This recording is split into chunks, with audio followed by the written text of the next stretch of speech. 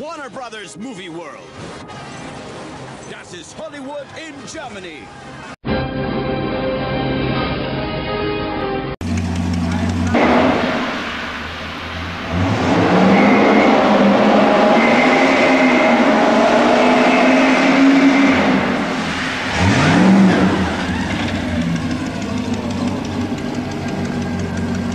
Sehr gut.